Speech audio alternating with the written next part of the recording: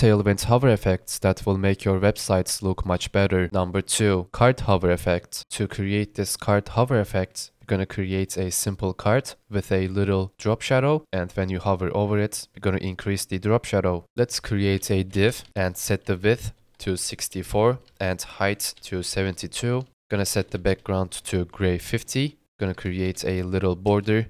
Gonna make the border gray 100. It is going to be a flex container so we can center the text. Let's give it rounded corners and a shadow medium. When you hover over it, gonna increase the shadow to 2x large. Let's use the transform class name and on hover, we're gonna move this card to the top using minus translate y 2 Let's use transition all and set the duration to 300. Gonna use ease linear transition and give it a padding of 4. Inside, let's say hover to lift. And there you go.